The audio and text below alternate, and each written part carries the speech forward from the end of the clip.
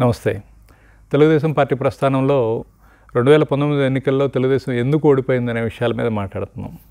ఈ ఓటమిలో ఇంటెలిజెన్స్ పాత్ర చాలా గణనీయమైందని చెప్పుకోవాలి. అంటే ఒక రాష్ట్ర ప్రభుత్వానికి అసలు రాష్ట్రంలో ఏం జరుగుతుంది ప్రజలేమనుకుంటున్నారు పరిస్థితులు ఎలా ఉన్నాయి ఏం చేస్తే బాగుంటుంది ఆ ముఖ్యమంత్రి పనితీరు ఎలా ఉంది? ప్రభుత్వ పనితీరు ఎలా ఉంది? రకరకాల వర్గాల ఆలోచన విధానం ఎలా ఉందనేది ఇంటెలిజెన్స్ ఎప్పటికప్పుడు చెప్పాలి. దురదృష్టవశాత్తు మరి చంద్రబాబు నాయుడు గారు ఆ నిజాలు వినడానికి ఇష్టపడలేదు. లేదా చంద్రబాబు నాయుడు గారు చుట్టూ ఉన్నటువంటి ఒక కోటరీ ఆ నిజాలని తెలియనీయలేదు. లేదా ఇంటెలిజెన్స్ మనకెందుకులే ఏదో ఆయన అనుకున్నట్టు చెబుదాం సోది చెప్పినట్టు అనుకున్న మాట చెబుదాం అని చెప్పేసి అనుకున్నారో తెలియదు కానీ వరసన ఇంటెలిజెన్స్ ఫెయిల్యూర్ అంటే దేశంలో అప్రతిహతంగా ముందుకు సాగుతున్నటువంటి మోడీ గారిని ఏదో ఒకటి రెండు ఎలక్షన్స్ ఓడిపోగానే ఢిల్లీలో ఇక బీజేపీ గవర్నమెంట్ ఉండదు కాంగ్రెస్కి అవకాశం ఉంది. సో మనం గనక బీజేపీని వదిలేసి కాంగ్రెస్తో ఉంటే బ్రహ్మాండంగా ఆ ఢిల్లీలో చక్రం తిప్పొచ్చు ఏపీలో కూడా బాగుంటుందని అను అను అని రిపోర్ట్ వచ్చినట్టుంది. సో ఆ పరిస్థితుల్లో కనీస విఘ్నత ఉన్న వాళ్ళు ఎవరు కూడా అది నమ్మలేదు. మీరు నమ్మారు? అక్కడ బొక్కబొరలా పడ్డారు. అలానే తెలంగాణలో కేసీఆర్ గారు ఓడిపోతున్నాడు. సో తెలంగాణలో తెలుగుదేశం పార్టీ కాంగ్రెస్తో ఓట్ షేర్ తీసుకొని తెలంగాణలో గవర్నమెంట్ ఫామ్ చేస్తే ముందుగా ఎలక్షన్స్ ఉన్నాయి కాబట్టి ఇక్కడ కాంగ్రెస్ గవర్నమెంట్తో పాటు టీడీపీ ఉంటే అది అగైన్ నైన్టీన్ ఎలక్షన్కి ఉపయోగపడుతుందనే ఉద్దేశంతో ఇక్కడికి వచ్చి ప్రచారం చేశారు. వాస్తవానికి రెండు వేల పద్దెనిమిదిలో తెలంగాణ జరిగిన ఎన్నికల్లో కేసీఆర్కి చాలా టఫ్ టైం అది.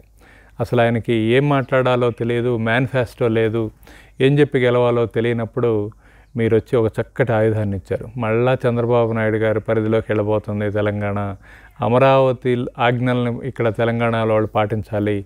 మళ్ళా మనకి బానిసత్వం కావాలా మళ్ళా మనకి ఆంధ్ర పాలకుల పెత్తనం కావాలా అని చెప్పేసి మీరు తెలంగాణలో ప్రచారం చేసిన ప్రతి మీటింగు కేసీఆర్ గారికి మీరు ఒక అద్భుతమైన గిఫ్ట్ ఇచ్చినట్టు అనమాట సో దానికి ప్రతిఫలంగా ఆ కక్షతోటి మీకు ఎటువంటి ఆర్థిక వనరులు రాకుండా ఇక్కడ ఉన్నటువంటి వ్యాపారవేత్తల్ని బెదిరించడం ద్వారా కానీ వ్యాపారవేత్తలకు సహకరించకపోవడం ద్వారా కానీ వ్యాపారవేత్తలు వార్నింగ్ ఇవ్వడం ద్వారా కానీ నిధులు రాకుండా చేశారు. తర్వాత రెండు వేల పంతొమ్మిది ఎలక్షన్లో చాలా టఫ్గా ఉంది పరిస్థితి. పద్నాలుగులోనే ఆల్మోస్ట్ ఇది జగన్ గవర్నమెంట్ అలాంటిది ఏదో త్రుటిలో తప్పి గెలిచాము. సో ఈసారి పవన్ కళ్యాణ్ లేడు బీజేపీ లేదు కేసీఆర్ చాలా సీరియస్గా అపోనెంట్గా ఉన్నాడు. సో పార్టీ కార్యకర్తలు అంటే పార్టీని అభిమానించి సపోర్ట్గా నిలబడ్డ వాళ్ళు ఈ ఎమ్మెల్యేల అకృత్యాల వలన దూరంగా ఉన్నారు. ఇన్ని ప్రతికూల పరిస్థితుల్లో మళ్ళా మీరు మీరే గెలవబోతున్నారని మీరు నమ్మటం చాలా దురదృష్టం. నాకు తెలిసి చంద్రబాబు నాయుడు గారికి చివరి క్షణంలో అర్థమై వంగి వంగి దండాలు పెట్టాడు కానీ అప్పటికే సమయం దాటిపోయింది. ఎందుకంటే ముందుగా ప్రిపేర్ చేసుకోవాలి. క్యాడర్ని ఆర్థిక వనరులు లేకుండా బలహీనం చేసుకున్నారు. ఎమ్మెల్యేలు కరప్షను ఆ విచ్చలవిడితనాన్ని కంట్రోల్ చేయలేకపోయారు. అనవ అవసరం లేకుండా శత్రువులను పెంచుకున్నారు. మోడీతో నిజంగా మోడీ మీకు సహకరించలేదు. మీకు వ్యతిరేకంగా ప్రవర్తించాడు. కామ్గా ఉండండి బరాయించండి మీకు సానుభూతి వచ్చేది? పవన్ కళ్యాణ్ ఉన్నాడు సో ఆ విషయం ఇంకొక ఎపిసోడ్లో మాట్లాడదాం.